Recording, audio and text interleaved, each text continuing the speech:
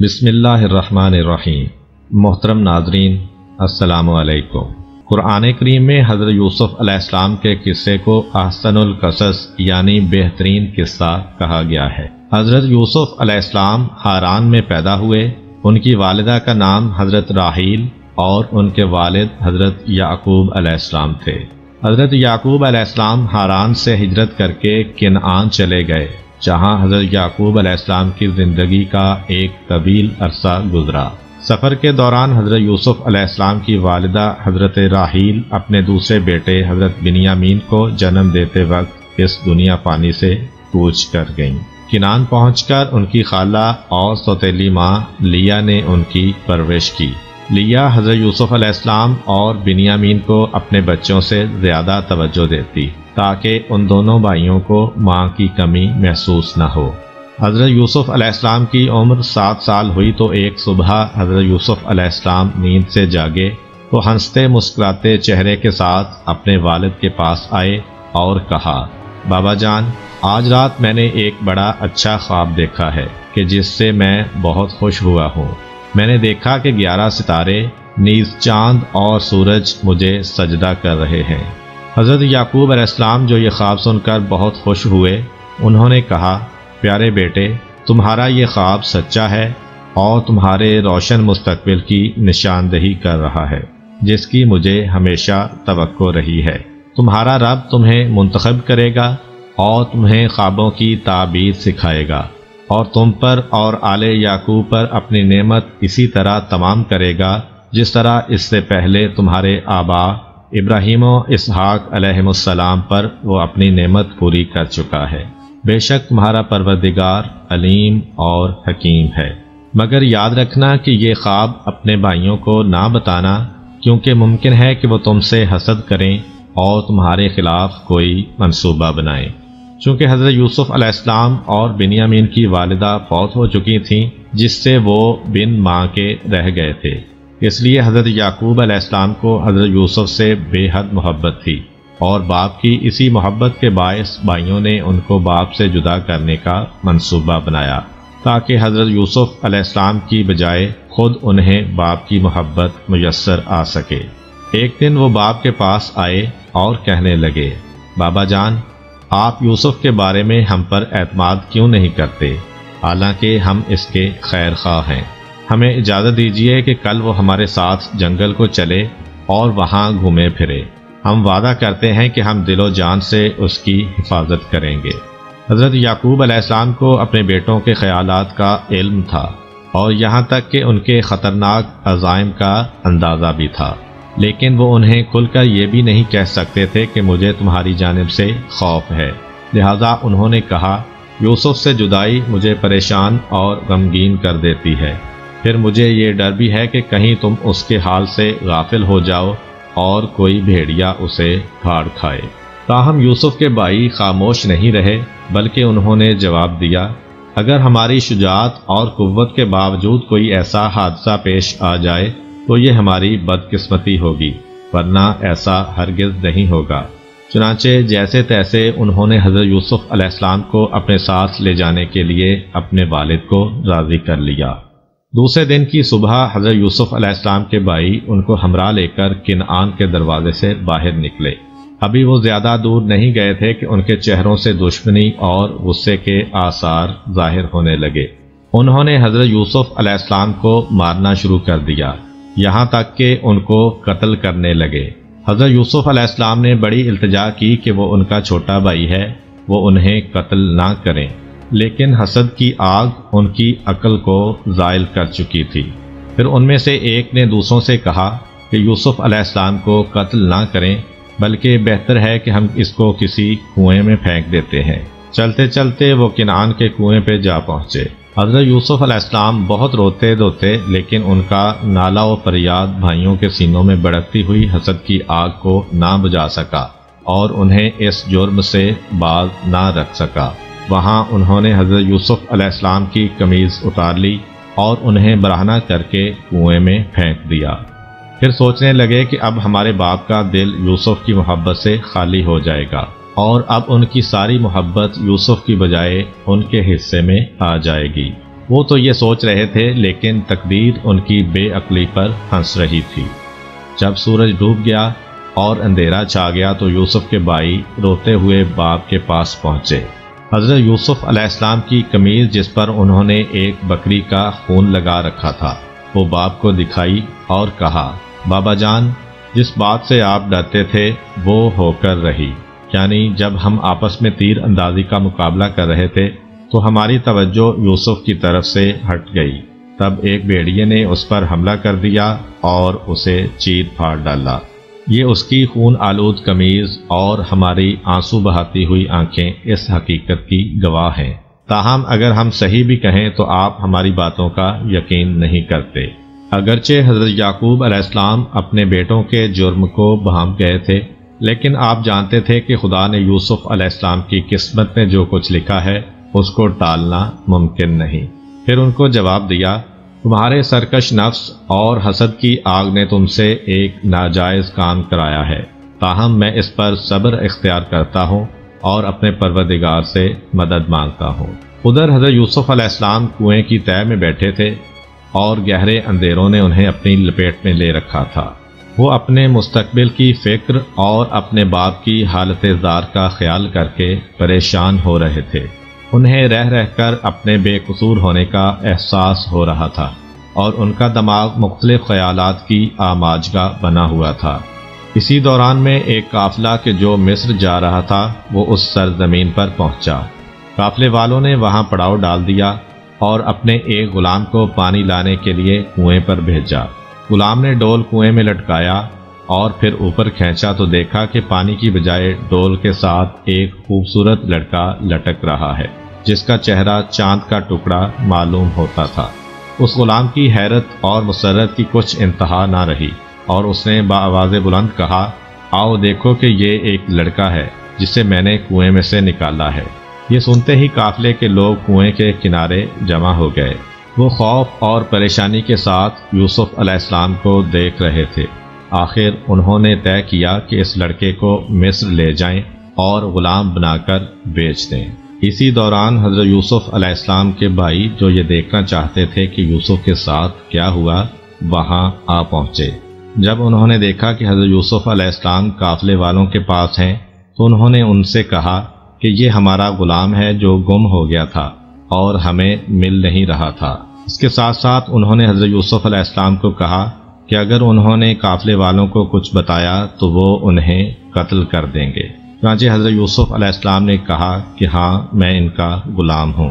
काफले वालों ने हज़रत यूसुफ अलैहिस्सलाम के भाइयों को कहा कि अगर वो इस गुलाम को बेचना चाहते हैं तो वो इसके खरीदार बनते हैं।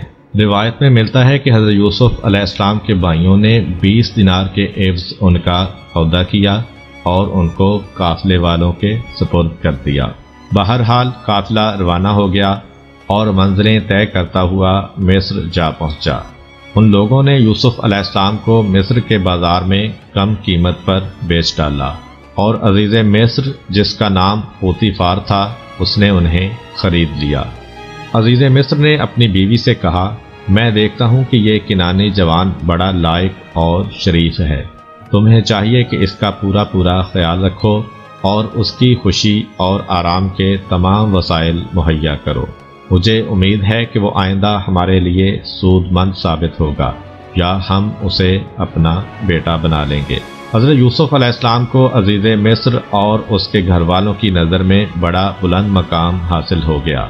उन्हें घर के तमाम अमूर नीज गुलामों और खिदमतगारों पर पूरा इख्तियार हासिल हो गया और हर काम उनकी मर्ज़ी के मुताबिक अंजाम पाने लगा। हज़रत यूसुफ अलैहिस्सलाम अज़ीज़ मिस्र पोतीफार के कसर में पले बढ़े और जवान हुए। यूसुफ अलैहिस्सलाम खूबरू नौजवान थे।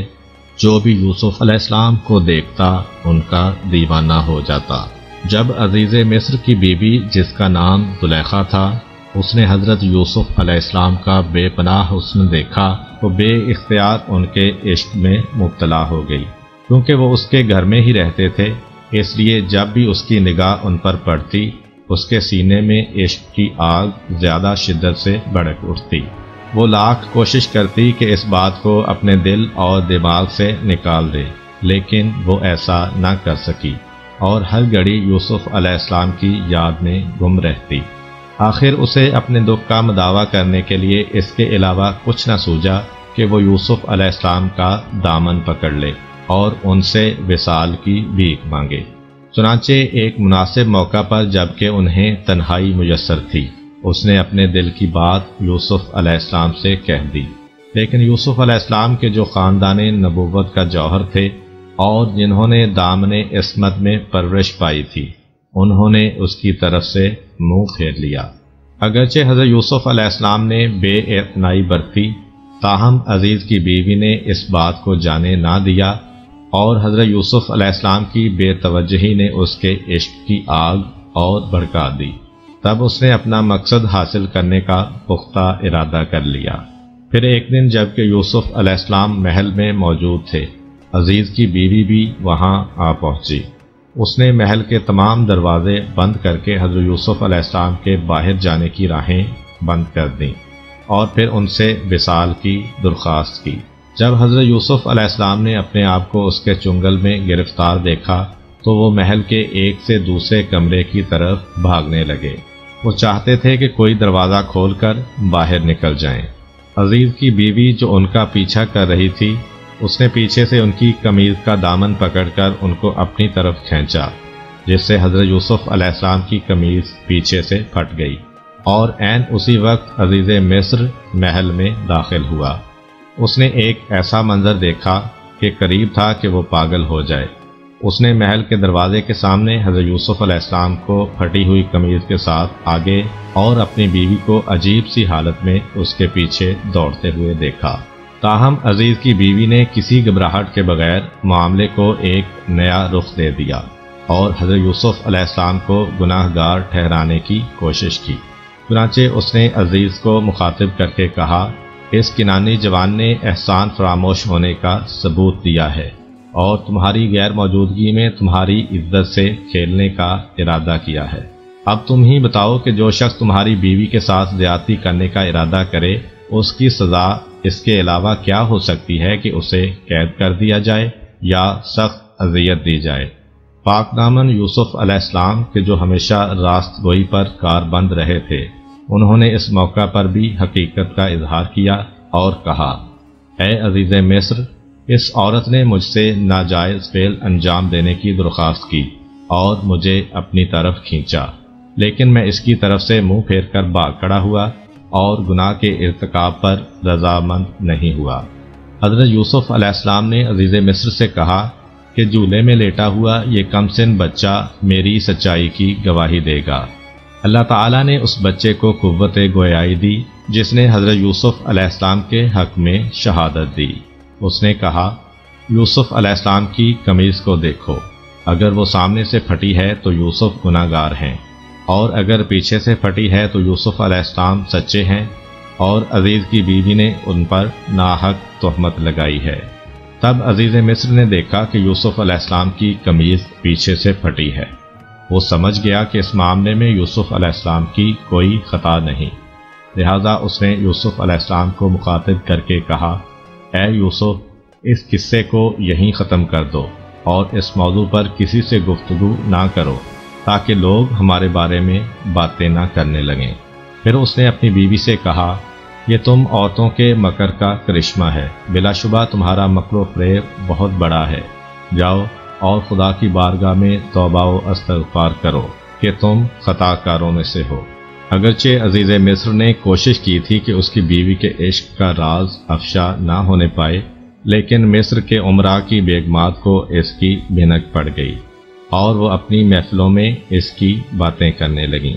बल्कि बाज ने तो अज़ीज़ मिस्र की बीवी पर खुली तनकीद शुरू कर दी और वो उसे लानत मलामत करती थी। मिस्री बेगमात की तरफ़ से इस सजनश की इतला अज़ीज़ मिस्र की बीवी को भी मिली। इस पर वो बहुत रंजीदा और परेशान हो गई। फिर सोचने लगी कि कोई ऐसी तदबीर की जाए जिससे वो औरतें उसके सामने ज़ुबान न खोल सकें और उसकी हमनवा बन जाएँ। बड़ी सोच विचार के बाद उसने किसी खास दिन पर अपने यहाँ एक महफिल मुनद करने का फैसला किया और मिस्र की तमाम बेगमात को इसमें शिरकत की दावत दी।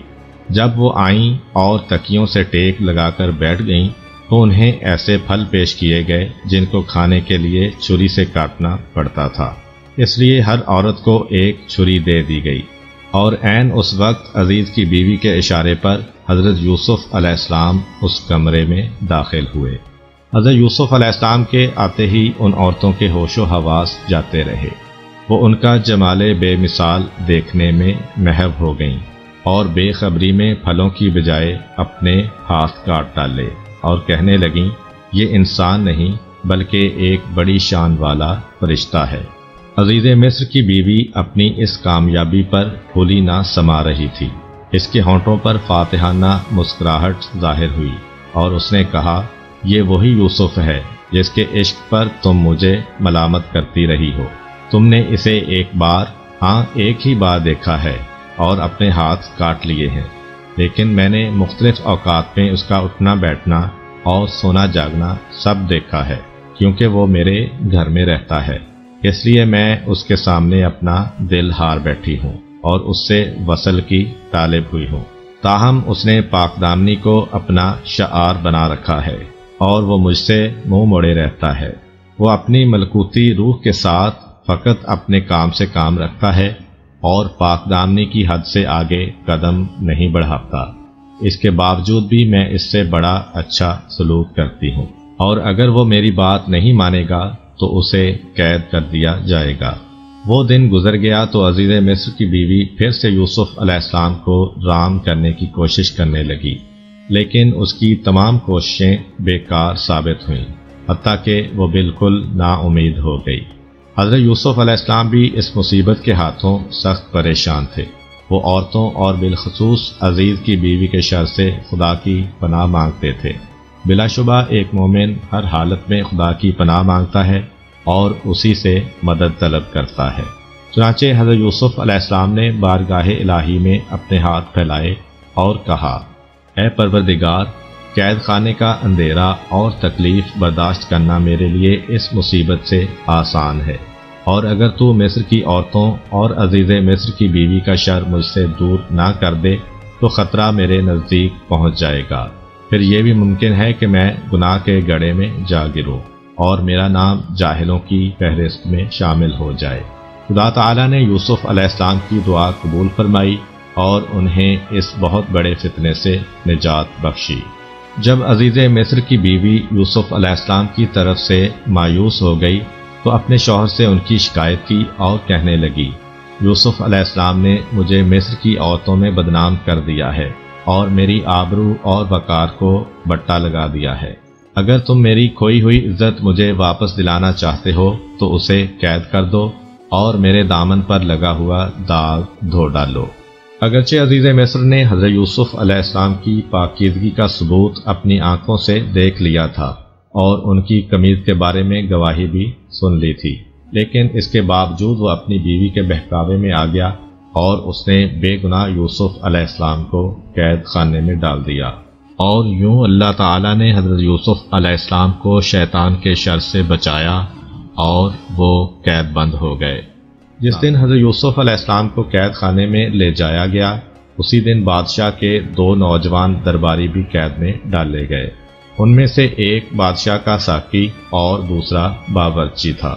उन पर इल्ज़ाम यह था कि वो बादशाह को जहर दे देना चाहते थे।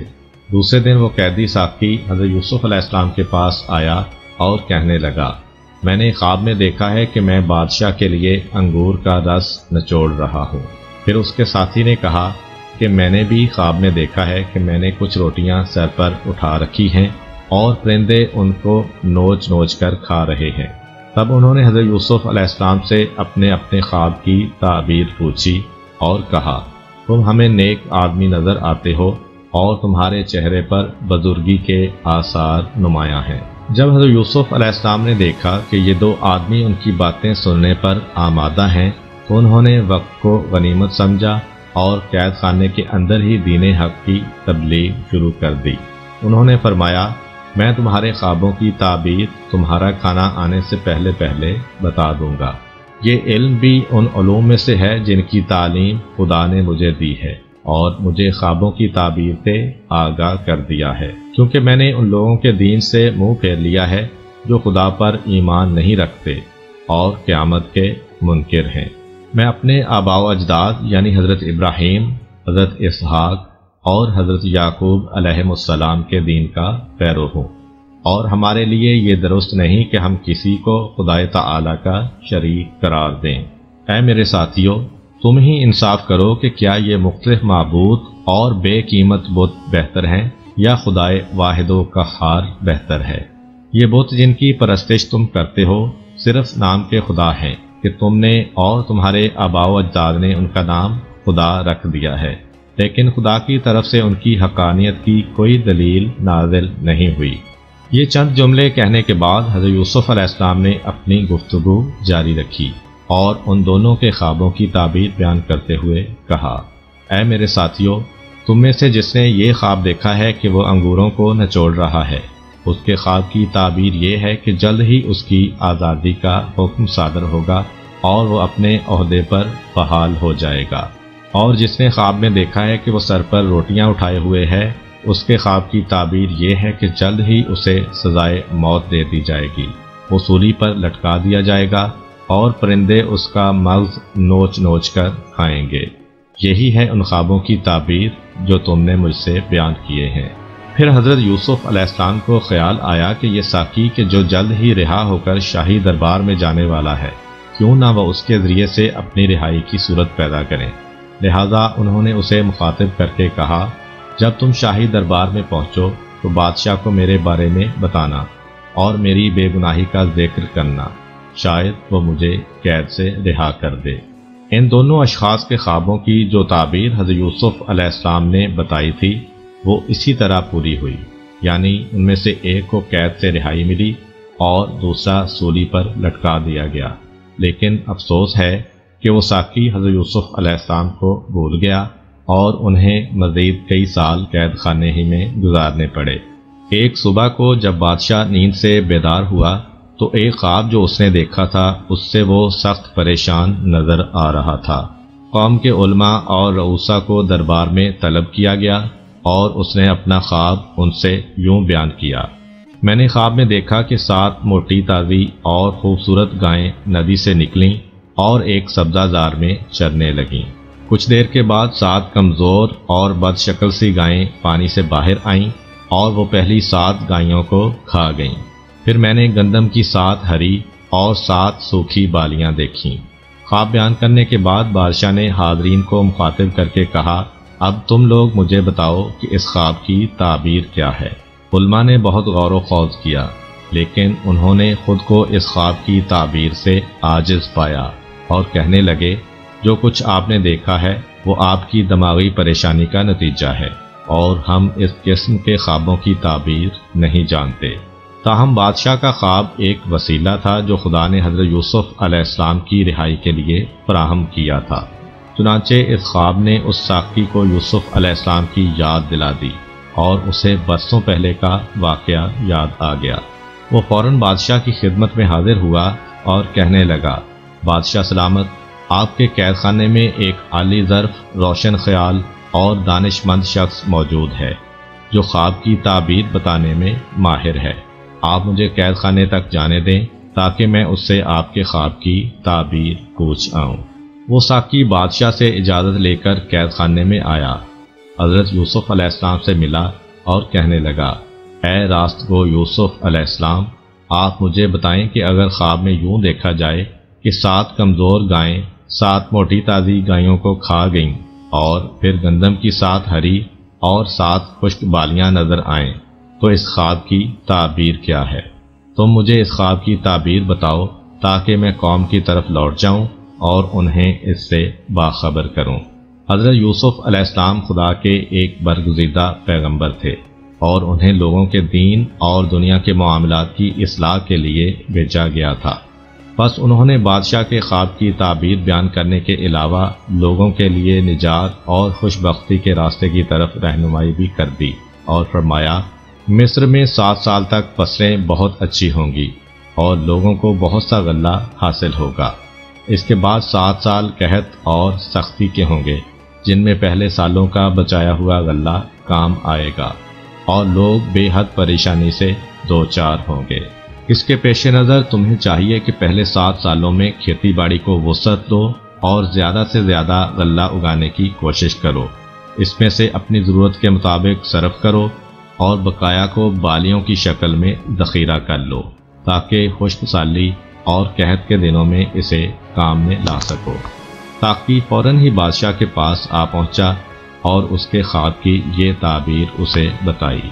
अपने ख्वाब की ये ताबीर सुनकर बादशाह का चेहरा खिल उठा और उसका रंजो गम जायल हो गया। वो समझ रहा था कि ये ताबीर उसके ख्वाब के एन मुताबिक है, जो किसी बहुत ही अक्लमंद आदमी ने बयान की है।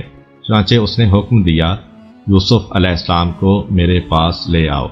ताकि मैं ज़िंदगी की परेशानियों और मुश्किलात में उससे मदद ले सकूँ और उसके नज़रियात से फ़ायदा उठाता रहूँ। इस पर शाही नुमाइंदे हज़रत यूसुफ अलैहिस्सलाम को रिहाई दिलाने के लिए कैद खाने पहुँचे, लेकिन उन्होंने रिहाई हासिल करने से इनकार कर दिया हालाँकि उस वक्त उनके लिए आज़ादी की बड़ी अहमियत थी, क्योंकि वो साल हर साल से कैद खाने की गुटी गुटी फिजा में ज़िंदगी बसर कर रहे थे एक अरसे से उन्होंने खुले आसमान में सूरज, चाँद और सितारों को नहीं देखा था। कभी आराम की नींद नहीं सोए थे और कभी ढंग का खाना नहीं खाया था। लेकिन इन तमाम बातों के बावजूद वो इस पर आमादा ना हुए कि उन्हें माफ़ी के तौर पर कैद खाने से रिहा कर दिया जाए। उन्होंने कहा, मैं उस वक्त तक कैद खाने से बाहर नहीं आऊँगा जब तक बादशाह मेरे बारे में तहकीकात न कर ले। मेरी मिसल ना पढ़ ले और मेरी बेगुनाही उस पर साबित ना हो जाए। बादशाह से कह दो कि वो मिस्री औरतों से ये दरियाफ्त करे कि उन्होंने अपने हाथ क्यों काटे और मुझे क्यों तंग किया था। शाही नुमाइंदे दोबारा बादशाह की खिदमत में हाजिर हुए और उसे सूरत हाल से मतला किया। बादशाह ने मिस्र की औरतों, जिनके नाम शायद हज़रत यूसुफ अलैहिस्सलाम ने बताए थे, अपने पास बुलाया और उनसे हाथ काटने के बारे में पूछा। तब उन औरतों को हकीकत का एतराफ़ करने के अलावा कोई चारा नज़र न आया और उन्होंने मुतफ़ा तौर पर गवाही दी कि यूसुफ अलैहिस्सलाम बेगुनाह है। अज़ीज़ मिस्र की बीवी ने भी अपने गुनाह और यूसुफ अलैहिस्सलाम की बेगुनाही का इकरार कर लिया और यूँ हज़रत यूसुफ अलैहिस्सलाम इज़्ज़त व आबरू के साथ कैद खाने से बाहर आए। कैद से आज़ाद होने के बाद हज़रत यूसुफ अलैहिस्सलाम को बादशाह के महल में लाया गया। बादशाह बड़े इश्तियाक के साथ हज़रत यूसुफ अलैहिस्सलाम को देखने का मुंतज़र था। जब कुछ देर गुजरी तो आप दरबार में आ पहुँचे। बादशाह ने आपसे बड़ी देर तक बातें की और उन्हें अक्लमंद, रोशन दिमाग और काबिल पाया। तब उसने कहा है यूसुफ अलैहिस्सलाम हमारे दिल में आपकी बड़ी इज़्ज़त है और हम आप पर पूरा पूरा भरोसा करते हैं। आप जो अहदा भी पसंद करें हम आपको उस पर तैनात कर देंगे। हज़रत यूसुफ अलैहिस्सलाम ने जवाब दिया, आप मुझे उमूर खुराक और महकमा माल का नाजिर मुकर कर दें, क्योंकि मैं ये काम खुश उसलूबी से अंजाम दे सकता हूँ। बादशाह ने फरमान जारी किया कि ये अहदा यूसुफ अलैहिस्सलाम के सपुर्द कर दिया जाए। नीज दरबारियों और अहलकारों को हुक्म दिया कि वो यूसुफ अलैहिस्सलाम के अहकाम की तामील करें और उनके हुक्म को शाही हुक्म समझें।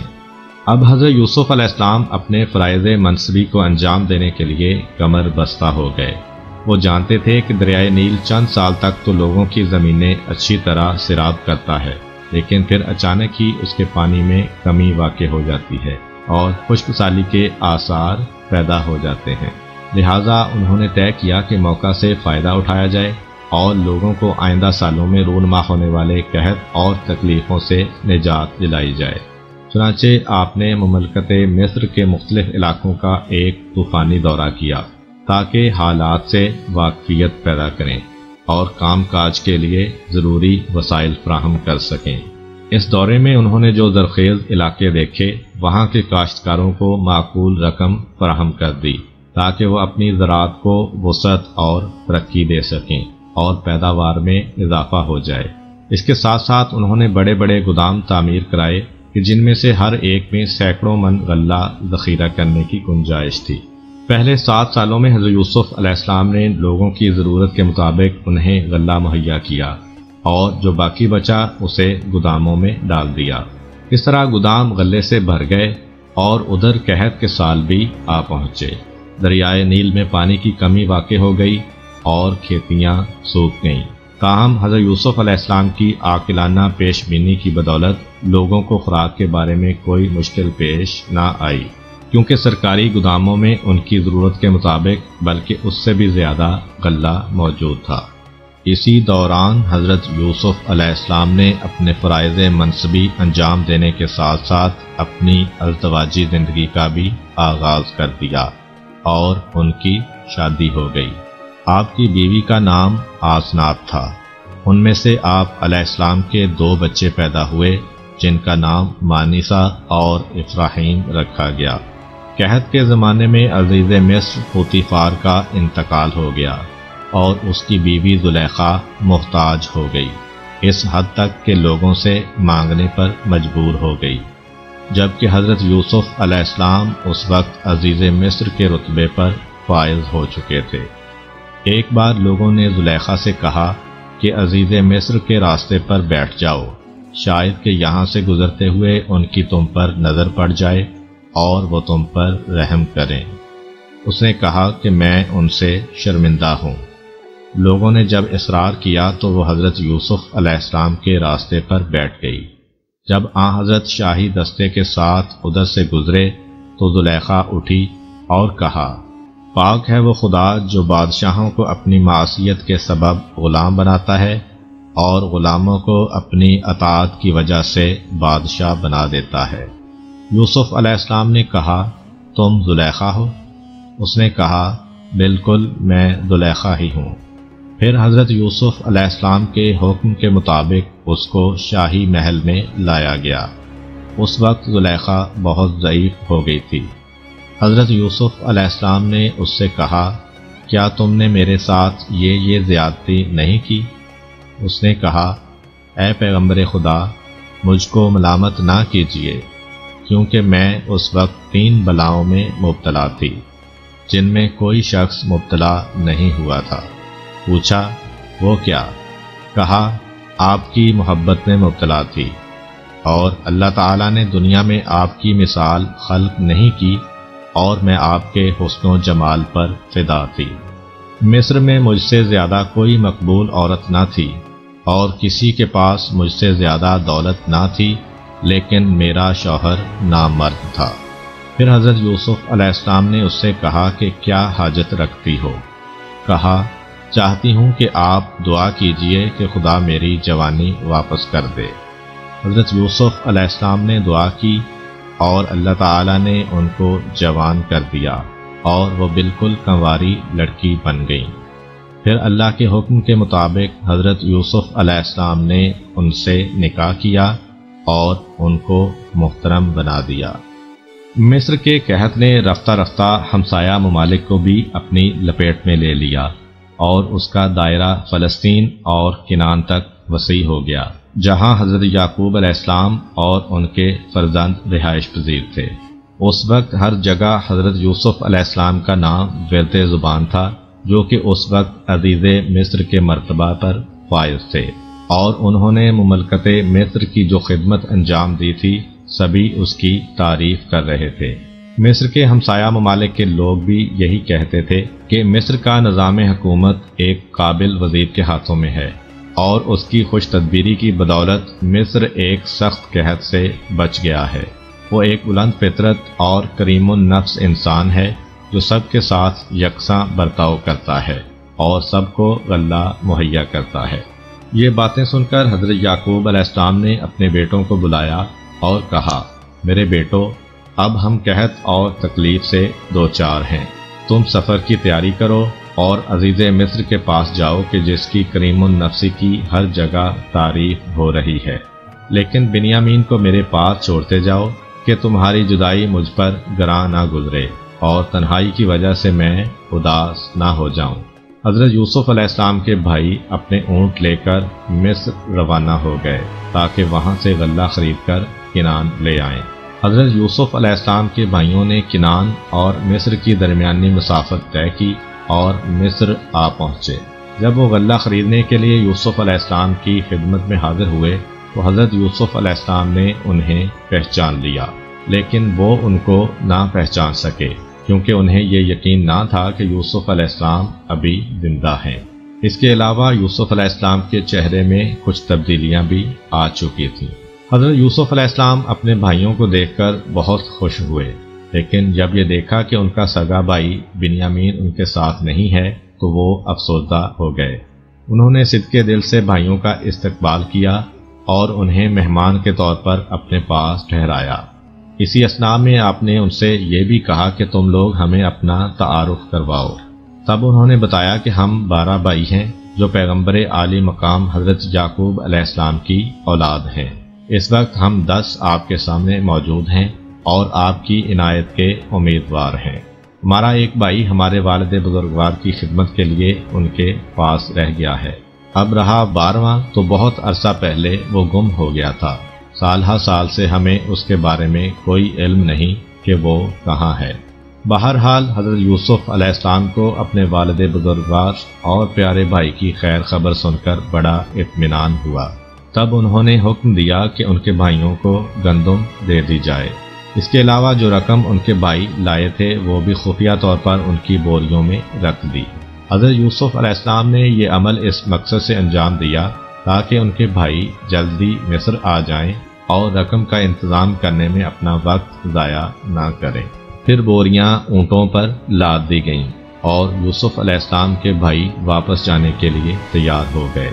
इस मौका पर आपने उनसे कहा जब तुम दोबारा मिस्र आओ तो अपने छोटे भाई को भी साथ लेते आना, ताकि मुझे इत्मीनान हो जाए कि जो कुछ तुमने बताया, वो वाकई दुरुस्त है। लेकिन अगर तुम उसे साथ ना लाए तो तुम्हें गल्ला नहीं मिलेगा, और फिर तुम कभी भी मेरे पास आने का इरादा ना करना। उन्होंने जवाब दिया, इस बारे में हम अपने वालद बुजुर्गवाद से बात करेंगे। हमें उम्मीद है कि वो इस बात को मान लेंगे, और हम उस छोटे भाई को साथ ला सकेंगे। हज़रत यूसुफ अलैहिस्सलाम ने अपने भाइयों को अलविदा कहा और वो खुशी खुशी किनान लौट गए। जब वो अपने बाप की खिदमत में हाजिर हुए तो कहने लगे, बाबा जान, जैसा कि अज़ीज़ मिस्र के बारे में मशहूर था, हमने उसे बड़ा आली जर्फ और शरीफ इंसान पाया है।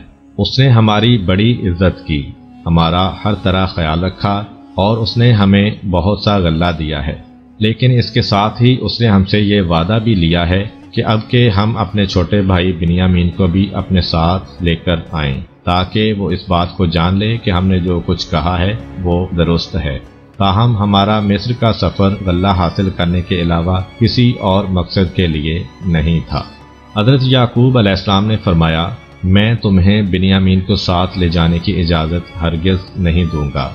क्या तुम चाहते हो कि जो कुछ तुमने यूसुफ के साथ किया था, इसके साथ भी वही करो? नहीं। बस तुम मुझे मेरे हाल पर छोड़ दो और मुझे मजबूर ना करो। फिर उन्होंने गले की बोरियाँ खोली और देखा कि जो रकम वो घर से लेकर गए थे, वो भी गले में रख दी गई है। वो खुश खुश बाप के पास आए और कहने लगे, बाबा जान, हमने गलत नहीं कहा था। ज़रा अज़ीज़ मिस्र की आली जरफी तो देखिए कि उसने हमारी अदा की हुई रकम भी अपने पास नहीं रखी और मख्फी तौर पर हमें वापस कर दी है। लिहाजा आप खौफजदा मत हों और हमारे भाई को हमारे साथ भेज लें। हम दिलो जान से इसकी हिफाजत करेंगे और इसे सही और सलामत आपके पास वापस ले आएँगे। हज़रत याकूब अलैहिस्सलाम ने देखा कि उनके बेटों को गले की ज़रूरत है और वो मिस्र जाने के लिए बेचैन हैं। अलावा अजीम वो अज़ीज़ मिस्र से वादा कर चुके हैं कि अपने भाई को अपने साथ लाएँगे। इन हालात के पेश नज़र उन्होंने उनको इजाज़त दे दी कि वो बिनियामीन को अपने साथ मिस्र ले जाएँ। ताहम उन्होंने उनसे वादा लिया कि बिनियामीन को बाहिफाजत वापस ले आएँगे। सिवाय इसके कि कोई ऐसा नागहानी हादसा पेश आ जाए कि जिससे उनके लिए बिनियामीन की हिफाजत करना मुमकिन न रहे। सब भाइयों ने इस अहद पर खुदा को गवाह ठहराया और बिनियामीन को हमरा लेकर मिस्र रवाना हो गए। हज़रत याकूब अलैहिस्सलाम ने उन्हें हिदायत की कि मिस्र पहुँचने पर वो सब के सब एक दरवाजे से नहीं, बल्कि तकसीम होकर मुख्तलिफ़ दरवाज़ों से शहर में दाखिल हों। ये हिदायत करने से शायद उनके पिदरे बुजुर्गवार का मकसद ये था कि उनके बेटे लोगों की नज़र बद से महफूज रहें, और शायद वो ये भी चाहते थे कि वो लोगों की तवज्जो का मरकज ना बने। ताकि उनके बारे में इस किस्म की गलत राय कायम ना कर ली जाए कि ये जासूस हैं या चोरी करने या डाका डालने की गर्ज से मिस्र आए हैं। बहरहाल, हज़रत यूसुफ अलैहिस्सलाम के भाई मिस्र पहुँचे। उनसे दूसरी बार मुलाकात की और अपने भाई बिनियामीन को उनके सामने पेश किया। हज़रत यूसुफ अलैहिस्सलाम अपने उस भाई को देखकर बेहद खुश हुए और गुलामों को हुक्म दिया कि वो दोपहर के लिए नस्बता ज़्यादा खाना तैयार करें। ताकि सभी मिलकर खाएँ। दोपहर के वक्त हज़रत यूसुफ अलैहिस्सलाम अपने भाइयों को घर ले गए और उन्हें दो दो करके दस्तरखान पर बिठा दिया। बिनियामीन अकेला रह गया तो बे इख्तियार रो दिया और कहने लगा, अगर आज मेरा भाई यूसुफ ज़िंदा होता तो मैं अकेला ना रहता। यूसुफ अलैहिस्सलाम ने उसे अपने साथ बिठा लिया और दोनों ने मिलकर खाना खाया। जब रात हो गई तो हज़रत यूसुफ अलैहिस्सलाम ने दो दो भाइयों को एक एक कमरे में सुलाया और बिनियामीन को अपने पास रखा और कहा, क्या तुम इस बात को पसंद करोगे कि यूसुफ की जगह मैं तुम्हारा भाई बन जाऊँ? बिनियामीन ने जवाब दिया, आप जैसा भाई कहाँ मिल सकता है? लेकिन अफसोस इस बात का है कि आप याकूब अलैहिस्सलाम और राहील के बेटे नहीं हैं। तब हज़रत यूसुफ अलैहिस्सलाम की आँखों में आँसू आ गए और उन्होंने बिनियामीन को सीने से लगा लिया और कहा, मैं ही तुम्हारा गुमशुदा भाई यूसुफ हूँ, जिसकी जुदाई में तुम गमगीन रहते हो। वो मैं ही हूँ कि जिसने भाइयों के हाथों दुख उठाए और फिर कई नाकामियों का मुँह देखा। लेकिन खुदाए ताला ने मेहरबानी फरमाकर मेरी तकलीफ़ें दूर की और मुझे इस रुतबे पर पहुँचा दिया। ताहम फ़िलहाल तुम्हें ये बात उन भाइयों से पोशीदा रखनी चाहिए। मेहमानदारी के दिन ख़त्म हो गए और हज़रत यूसुफ अलैहिस्सलाम के भाई गल्ला ख़रीदने के बाद वापस जाने को तैयार हो गए। हज़रत यूसुफ अलैहिस्सलाम ने बिनियामीन को अपने पास रखने के लिए एक तदबीर सोची और गुलामों को हुक्म दिया कि पानी पीने का एक प्याला बिनियामीन की बोरी में डाल दें। जब काफिला कुछ दूर निकल गया तो हज़रत यूसुफ अलैहिस्सलाम के एक अहलकार ने आवाज़ दी ए किनान वालों, रुक जाओ, तुम कितने बुरे लोग हो। जिन्होंने नेकी का बदला बदी से दिया और अज़ीज़ का एहसान फरामोश करके उसका प्याला चुरा लिया। हज़रत याकूब अलैहिस्सलाम के गयूर बेटे ये आवाज़ सुनकर जहाँ थे, वहीं के वहीं जमकर रह गए और कहने लगे, खुदा की कसम, तुम्हें मालूम होना चाहिए कि हम शरारत की नीयत से यहाँ नहीं आए थे और हम चोर नहीं हैं। अहलकार ने पूछा, अगर तुम में से किसी ने प्याला चुराया है तो उसकी सज़ा क्या होगी? उन्होंने जवाब दिया, हमें अपनी बेगुनाही का यकीन है और हम एक ऐसे दीन और कानून के पैरों हैं जिसके मुताबिक तुम लोग वो प्याला चुराने वाले शख्स को गिरफ़्तार करके अपना गुलाम बना सकते हो। इस गुफ्तु के बाद ऊँटों पर से बोरियाँ उतारी गईं और उनकी जाँच पड़ताल शुरू हो गई। पहले और भाइयों की और फिर बिनियामीन की बोरी की लाशी ली गई। तब वो सोने का प्याला बिनियामीन की बोरी से निकल आया।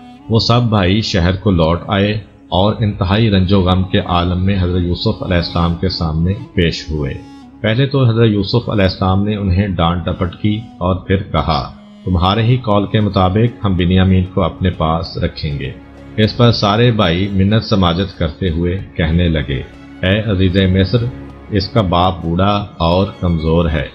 आप हम में से किसी एक को अपने पास रख लें और इसे आज़ाद कर दें। हज़रत यूसुफ अलैहिस्सलाम ने कहा यह नामुमकिन है कि हम एक चोर की बजाय किसी बेगुनाह शख्स को पकड़ लें, क्योंकि अगर हम ऐसा करेंगे तो एक मजलूम पर जुल्म रवा रखेंगे। अब भाइयों ने बिनियामीन को, जिसने उन्हें इस मुसीबत में फंसा दिया था, गुस्से वाली निगाहों से देखा और कहने लगे, अगर इसने चोरी की है तो ये कोई ताजुब की बात नहीं। इसका एक भाई था, इससे पहले उसने भी चोरी की थी। इससे उनका मकसद हज़रत यूसुफ अलैहिस्सलाम की चोरी के मामले की तरफ़ इशारा करना था और वो किस्सा कुछ यूँ था। हज़रत यूसुफ अलैहिस्सलाम अभी छोटे ही थे कि उनकी वालिदा इंतकाल कर गईं। उनकी पुप्पी उन्हें अपने घर ले गईं और उनकी परवरिश करने लगीं। जब वो ज़रा बड़े हो गए तो हज़रत याकूब अलैहिस्सलाम ने उन्हें पुप्पी के हाथ से अपने घर ले आने का फैसला किया। लेकिन हज़रत यूसुफ अलैहिस्सलाम की पुप्पी जो उन्हें बेहद चाहने लगी थी उनकी जुदाई बर्दाश्त न कर सकी। उन्होंने एक कमरबंद हज़रत यूसुफ अलैहिस्सलाम की कमर में बाँध दिया और उन्हें हज़रत याकूब अलैहिस्सलाम के घर भेज दिया।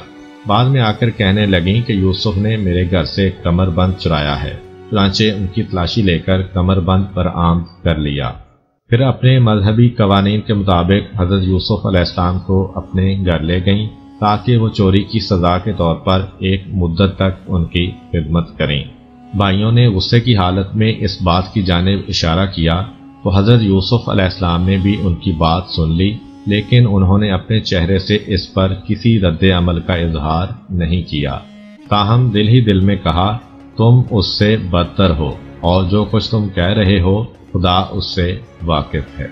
बिल आखिर भाई बिनियामीन की रिहाई से नाउमीद हो गए, और उन्होंने वापस जाने का फैसला कर लिया।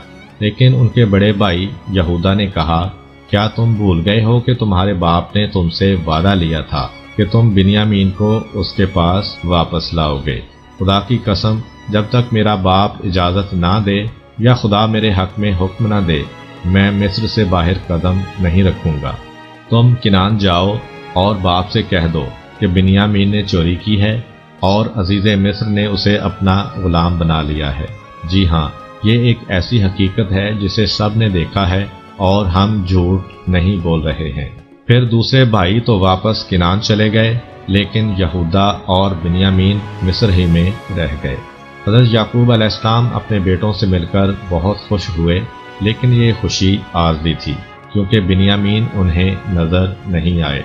उन्होंने उसके बारे में दरियाफ्त किया तो भाइयों ने सारा माजरा कह सुनाया। ये किस्सा सुनकर हज़रत याकूब अलैहिस्सलाम के होश जाते रहे और यूँ मालूम होता था जैसे उनकी रूह बदन से निकली जा रही है। उन्होंने बेटों की बात का यकीन ना किया और ये समझे कि उन्होंने बिनियामीन के साथ भी कोई ऐसी ही चाल चली है जैसी यूसुफ अलैहिस्सलाम के बारे में थी, जिसके गम में उनकी बसारत जाती रही थी। तब यूसुफ अलैहिस्सलाम की याद में उनके दुखी दिल से एक दर्दनाक आह निकली। जब कुछ सुकून हुआ तो हज़रत याकूब अलैहिस्सलाम ने अपने बेटों को मिस्र जाकर यूसुफ अलैहिस्सलाम और उनके भाई को तलाश करने की तरगीब दी। आपने उन्हें नाउमीद होने से रोका और फरमाया, खुदा की रहमत से मायूस मत हो और अपने खोए हुए भाइयों के पीछे जाओ। बाप के हुक्म के मुताबिक हज़रत यूसुफ अलैहिस्सलाम के भाई मिस्र रवाना हो गए और फिर तीसरी मतबा अज़ीज़ मिस्र के सामने हाजिर हुए। उन्होंने अज़ीज़ मिस्र को मुखातिब करते हुए बड़े दिक्कत आमेज लहजे में कहा ए अज़ीज़ मिस्र, हम और हमारा ख़ानदान शदीद तकलीफ़ और परेशानी में मुबतला हो गए हैं। हम थोड़ी सी रकम लेकर आपके पास आए हैं। आप हमें ज़्यादा गल्ला देकर हम पर एहसान कीजिए और हमारे भाई को रिहा कर दीजिए। कि खुदा नेकुकारों को बेहिसाब बदला देता है। हज़रत यूसुफ अलैहिस्सलाम ने उन्हें वो बदसलूकी याद दिलाई जो उन्होंने खुद उनसे की थी और कहा, क्या तुम्हें याद है कि इससे पहले तुमने यूसुफ और उसके भाई के साथ कितनी ज्यादती की? तुमने उनके दरमियान जुदाई डाल दी और उन्हें फिराक की आग में जलाया। हज़रत यूसुफ अलैहिस्सलाम ने ये अल्फाज शायद किनानियों और ख़ुद अपने भाइयों की ज़ुबान में कहे थे। इसलिए उन्होंने उन्हें पहचान लिया और कहा, क्या तुम यूसुफ हो? हज़रत यूसुफ अलैहिस्सलाम ने जवाब दिया हाँ मैं यूसुफ हूँ और ये मेरा भाई है। देख लो कि खुदा ने हम पर एहसान किया है। बेशक जो शख्स भी परहेजगारी को अपना शिआर बनाए और ज़िंदगी में पेश आने वाली मुश्किल और तकालीफ के मुकाबले में सब्र इख्तियार करे तो खुदा ऐसे नेकुकारों का अज्र ज़ाया नहीं करता। भाइयों ने शर्म के मारे सर झुका लिए और अपने किए पर माफ़ी मांगने लगे। हज़रत यूसुफ अलैहिस्सलाम ने कहा, तुम्हें डरने की ज़रूरत नहीं। उम्मीद है कि खुदा तुम्हारा ये गुनाह बख्श देगा। फिर हज़रत यूसुफ अलैहिस्सलाम ने अपने बाप हज़रत याकूब अलैहिस्सलाम के बारे में दरियाफ्त किया। तो भाइयों ने बताया कि वो आपके गम में रो रो कर अपनी बिनाई खो चुके हैं। इस पर हज़रत यूसुफ अलैहिस्सलाम ने उनसे कहा कि, तुम मेरी ये कमीज लेकर वालद बुजुर्गवार के पास जाओ और उनके चेहरे से मस करो। ताकि उनकी आँखें बीना हो जाएँ। फिर तुम सब के सब मेरे पास चले जाओ किनानी भाइयों ने हज़रत यूसुफ अलैहिस्सलाम की कमीज ली और बड़ी तेज रफ्तारी से किनान की जानब रवाना हो गए। उनका काफिला अभी मिस्र के दरवाजे से निकला ही था कि हज़रत याकूब अलैहिस्सलाम ने किनान में अपने पास मौजूद लोगों से कहा, मैं यूसुफ की बू सूंघ रहा हूँ। जिस बाप ने अपने बेटे के फिराक में साल हर साल तक आँसू बहाए थे उसने हज़रत यूसुफ अलैहिस्सलाम की बू सूंघ ली और अपने पास मौजूद लोगों को इसकी खबर भी दे दी। लेकिन वो कहने लगे, खुदा की कसम, खुदा की कसम, आप अभी तक इस मुगालते में हैं कि यूसुफ ज़िंदा है, हालाँकि ऐसी कोई बात नहीं है। अभी कुछ ज़्यादा दिन नहीं गुजरे थे कि बशीर आ पहुँचा। उसने हज़रत यूसुफ अलैहिस्सलाम की कमीज हज़रत याकूब अलैहिस्सलाम के सर पर डाल दी जिसके असर से उनकी आँखें रोशन हो गईं और उनके बदन में ताज़ा कुत आ गई। फिर हज़रत याकूब अलैहिस्सलाम और उनके अहल ख़ानदान ने मिस्र जाने का इरादा किया और यूसुफ अलैहिस्सलाम को देखने के शौक में उस सरजमीन पर जा पहुँचे। जब हज़रत यूसुफ अलैहिस्सलाम ने उन्हें देखा तो अपने वालिद और वालिदा से गले मिले और उन्हें अपने ख़ास तख्त पर बिठाया। तब उनके वालिद, वालिदा और भाई उनके मिल जाने पर बतौर शुक्राना अपने सर खाक पर रखकर झुक गए और सजदाए शुक्र बजा लाए।